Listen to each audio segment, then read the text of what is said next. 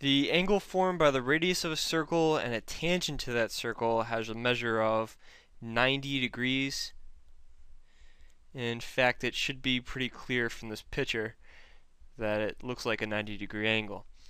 Now, if I make that angle smaller on the top side and bigger on the bottom side, then clearly it's no longer a tangent. In fact, it hits the circle at two different points, so now it would be a secant.